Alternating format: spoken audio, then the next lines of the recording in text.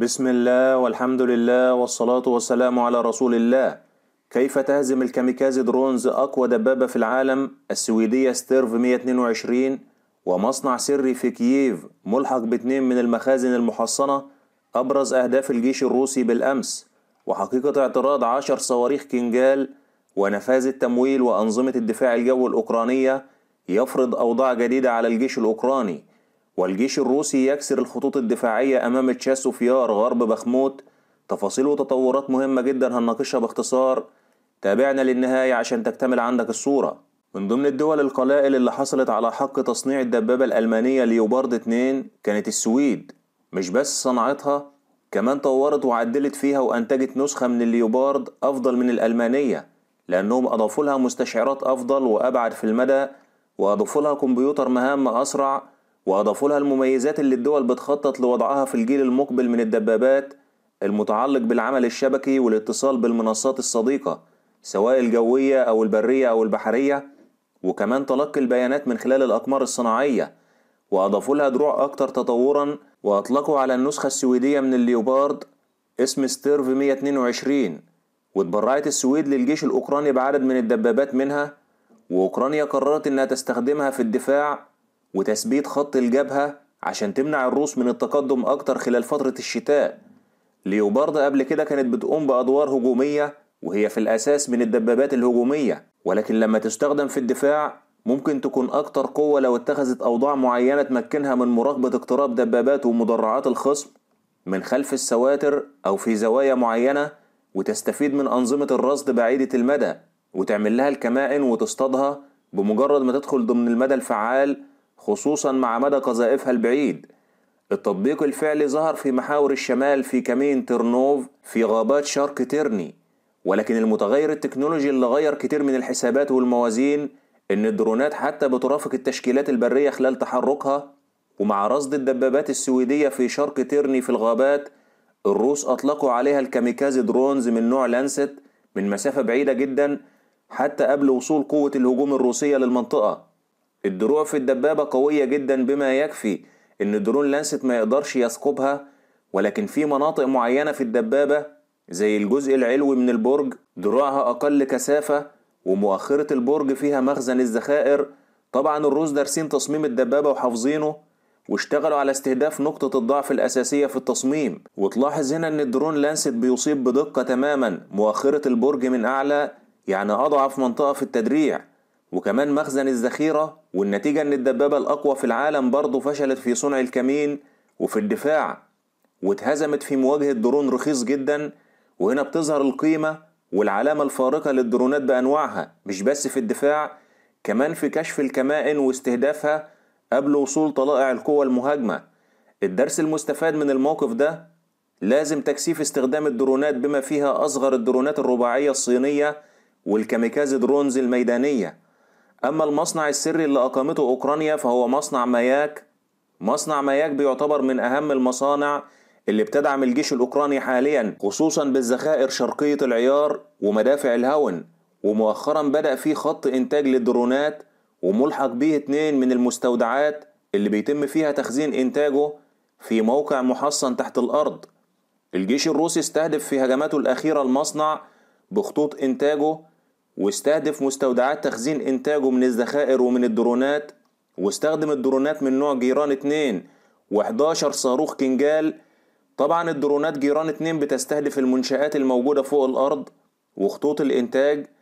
أما المستودعات تحت الأرض فبيستهدفوها بصواريخ كنجال لأن ليه قدرة كبيرة على الوصول لعمق كبير قبل ما تنفجر رأسه الحربي. يقال إنه بيوصل لعمق 70 متر تحت الأرض. الجيش الأوكراني بيعلن إنه اعترض 10 صواريخ كنجال ولكن ده كلام إحنا ناقشناه ونقلنا لحضراتكم آراء الخبراء العسكريين اللي أكدوا إن فيزيائيا ده مستحيل يحصل إلا في حالة واحدة بتعتبر برضه مستحيلة وهي إن بطارية الدفاع الجوي تكون منصوبة في أول 30 كيلومتر من مسار الصاروخ يعني تكون منصوبة داخل الأراضي الروسية نفسها وده في حد ذاته بيعتبر مستحيل ولكن الصور والمشاهد بتظهر إن فعلا الروس أصابوا المصنع ومواقع تخزين إنتاجه من الذخائر والدرونات. مش ده المصنع الوحيد أو المرفق الوحيد الخاص بالإنتاج العسكري اللي الروس أصابوه في هجماتهم الأخيرة؟ أصابوا مصانع إنتاج عسكري في خاركيف ودينيبرو وخيميلينسكي وأوديسا وتشيركاسي. ومن الواضح إن في عدد كبير من المصانع اتحولت للإنتاج العسكري خلال الفترة الأخيرة ضمن استراتيجية اتكلمنا عنها من ثلاث شهور. وإن الدول الغربية بتفضل إن الدعم يكون لأوكرانيا في دعم التصنيع المحلي للسلاح والذخائر ولكن النهاردة ميخائيل بوديلياك قال إن الخطة مش واقعية أوكرانيا لا تستطيع بناء صناعتها العسكرية خلال الحرب لأن روسيا هتستهدفها. ومن الواضح إن الروس ما بيواجهوش صعوبة في اكتشاف المصانع الأوكرانية لإنتاج الأسلحة لأن لهم جواسيس في كل مكان في أوكرانيا تقريبا بخلاف إنهم أطلقوا في السنة الأخيرة أكتر من عشر أقمار صناعية بتراقب كل شيء تقريبا على مدار اليوم. ده غير الدرونات وأنظمة الاعتراض للاتصالات. الروس بنفس النمط اللي اتبعوه العام الماضي بدأوا في تكثيف استهدافهم بالدرونات والصواريخ. ومن ضمن الصواريخ اللي بيستخدموها الروس موقع EurAsian Times وضع الصواريخ X 22 ونسختها المحدثة X 32 في قمة الصواريخ اللي بيخشاها الجيش الأوكراني.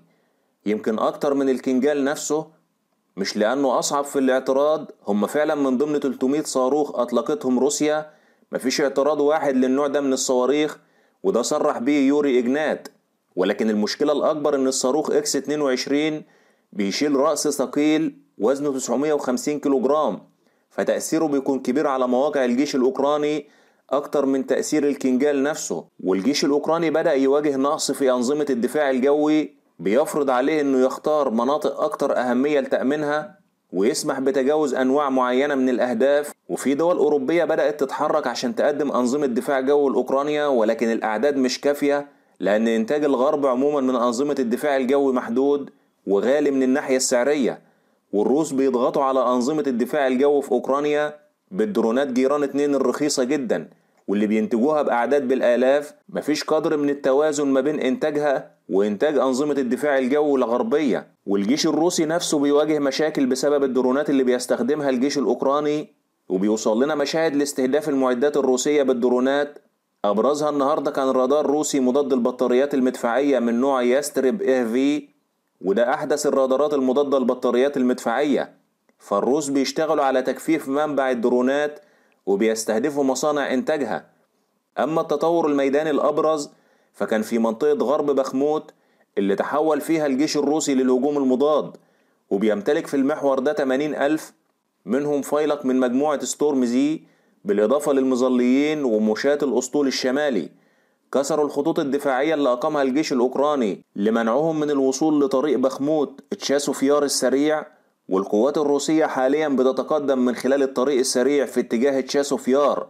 وفي محاور الجنوب الغربي القوات الروسية بتتقدم في اتجاه كورديوموفكا من الشمال وأجبرت القوات الأوكرانية على التراجع خلف السكة الحديد. وفي محور أندريفكا برضو القوات الروسية بتحرز تقدم وأكد المعلومات مراسلين أوكرانيين. وبيان هيئة الأركان الأوكرانية أكد أن الجيش الروسي نفذ عشر موجات من الهجوم المضاد في بوغدانوفكا وأندريفكا وتعدد المحاور اللي بيتقدم فيها الروس فرض على الجيش الأوكراني وضع الحيرة في أي المحاور يكون لها الأولوية في الدعم خصوصا مع نقص الإمدادات والمساعدات الغربية. شكرا والسلام عليكم ورحمة الله وبركاته.